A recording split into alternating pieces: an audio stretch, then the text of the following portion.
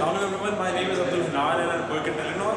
Uh, I personally believe that public speaking and communication skills are very important. Uh, in this, obviously, we are living in the 21st century, so this is a very essential skill for every profession. Uh, and this training is very helpful. Uh, I found it very helpful uh, to you know uh, realize the importance of these skills and to polish our skills. So it's an amazing training, and I'll highly recommend it to you all. Thank you so much.